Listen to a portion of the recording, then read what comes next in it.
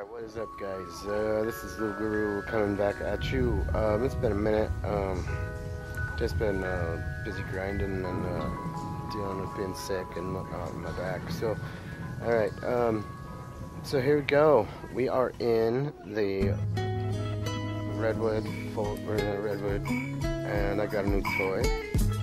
Look at this thing. I got 121 attack power.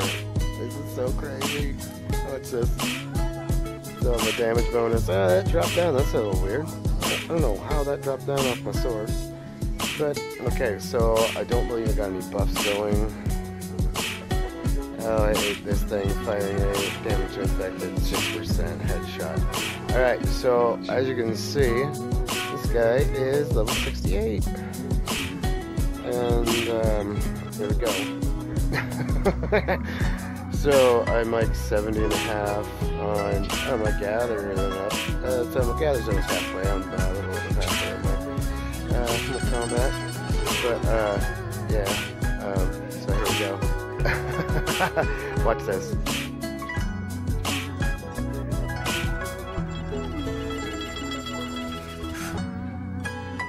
Let him try to blow me up. So, Redwood boss, Redwood mini boss. Let him get you. Let him get you. Let's go. Uh, anybody else play with this guy like this? so yeah, this is pretty dope. Uh, he gets a little bit, a little, little tickle. He tickles you a little bit, but as you can want to see something. So this guy really doesn't give shit, and I didn't even have to uh, refill my gun.